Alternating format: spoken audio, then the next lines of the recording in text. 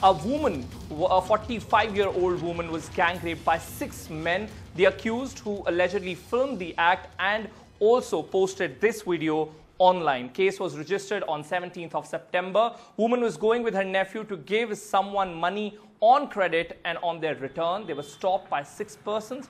Nephew was also assaulted and was also asked to rape her aunt or assault her aunt. Uh, one person raped the woman while others sexually assaulted her. They also made a video, as I said earlier, and uh, this video was circulated on social media. सारे गाड़ी से पैसा दे। लो हम आपसे हुए हूँ वो चार पाँच छः सात लोग, वो हमारे पीछे लग गए। उसने हमारे साथ बदतमीजी करी है। बदतमीजी करके नहीं, उसने एक हमारा भाण सा उसका हाथ पैर हाथ बाँध दिया।